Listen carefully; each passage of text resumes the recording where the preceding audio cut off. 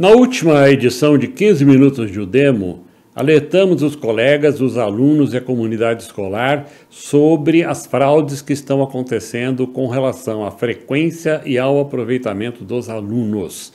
Segundo a SEDUC, dois itens importantes na avaliação do diretor e do vice-diretor serão aluno presente e prova paulista.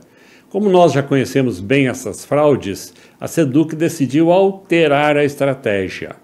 Aluno presente. Com relação à frequência, não mais será lançada presença para o aluno ausente, mas sim o código dispensa, sem explicar as razões dessa dispensa. Estando ele dispensado, não ficará com presença nem com falta. Será excluído do cômputo global da frequência escolar. Portanto, a frequência escolar tenderá a aumentar, uma vez que os alunos faltosos deixarão de ser computados. Prova paulista. Com relação ao aproveitamento, professores foram surpreendidos com notas já atribuídas aos seus alunos pelo sistema nas plataformas. Também, notas que já haviam sido lançadas pelos professores foram alteradas pelo sistema para notas mais altas. Por exemplo, uma nota 1 que passou a 9,73. Além disso, um comunicado afirma que o professor, se quiser, não será obrigado a utilizar a nota da prova paulista para o cálculo final.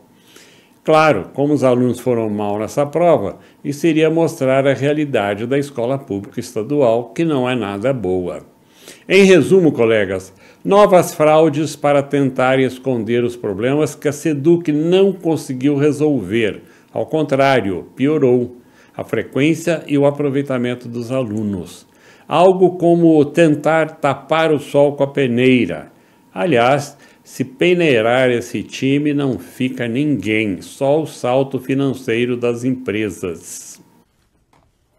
É Renato Feder, né, que chama o secretário isso, de Educação? Isso. Ele não foi demitido ainda? Ele não foi demitido ainda? Ele não foi demitido ainda? A educação precisa de um educador e não de um vendedor.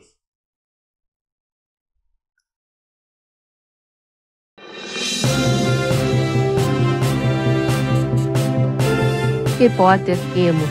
O que vai pelas nossas escolas e diretorias.